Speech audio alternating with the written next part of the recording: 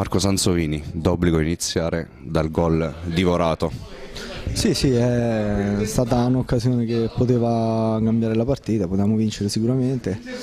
Io non ho rivisto le immagini, però da quello che, che mi ricordo come l'ho vissuta io per liberarmi dalla marcatura di Adecio che ce l'avevo davanti, niente sono andato davanti a lui e passando dietro però sono andato oltre la sua linea e il passaggio mi, mi sono trovato la palla un po' dietro quindi ho dovuto aprire la gamba destra però non, non sono riuscito a dare il colpo ma solo andare all'impatto con la palla.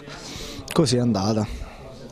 In molti dicono Sansovini generosissimo Sansovini paga però il fatto che tira la carretta da Pescara Vicenza ma io, io sono contento, io la tirerei da, dalla prima alla 42esima giornata, se, se, uno tira la carretta, ma non è vero perché comunque sono supportato da, da altri attaccanti bravi che stanno facendo bene, quindi io non mi sento quello che tira la carretta, io, a me piacerebbe giocare dalla prima alla 42esima come ti ho detto, però fortunatamente non, non, mi sento stanco perché stiamo facendo bene negli allenamenti, ci stanno gestendo bene gli allenatori, i preparatori e lo staff medico, quindi eh, almeno a livello personale non mi sento bene fisicamente. C'è però un problema del gol nel Pescara, delle prime squadre della classifica è quella che ha segnato di meno, è un problema di manovra, di sviluppo della manovra o è un problema di interpreti?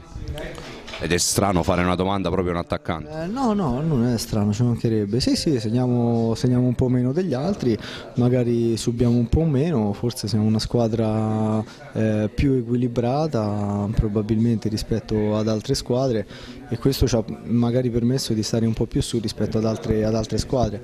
Ciò non toglie che dobbiamo essere più precisi sotto porta sotto porta nell'ultimo passaggio, insomma, nella, nella, fase, nella fase finale della realizzazione. L'altro grande problema è il rendimento esterno, come si cura? Eh, si cura con i punti, eh, con la vittoria innanzitutto.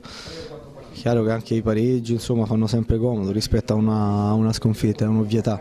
Eh, però alle vittorie io penso che ci si abitui solo con la vittoria più vinci, più fai punti e più li farai dopo perché acquisisci, acquisisci sicurezza e, ed entusiasmo. Ora c'è la tua ex squadra che ti si pone al cospetto, all'andata a due gol, al ritorno? Al ritorno speriamo di vincere, poi questa è la cosa basilare importante che tutti lottiamo come facciamo per, per l'obiettivo comune che per noi deve essere sempre la vittoria e poi chiaro c'è anche l'avversario, ci mancherebbe, però noi non, non possiamo prescindere da questo obiettivo. Conclusione, 12 partite ancora da disputare, 36 punti possibili da fare. Quanti credi che sia nelle corde del Pescara? No, il Pescara può vincere e perdere con chiunque, come qualsiasi squadra di questo campionato. Eh, previsioni non ne ho mai fatte, neanche a 3-4 giornate alla volta Posso solo dire che la squadra è già concentrata per Grosseta.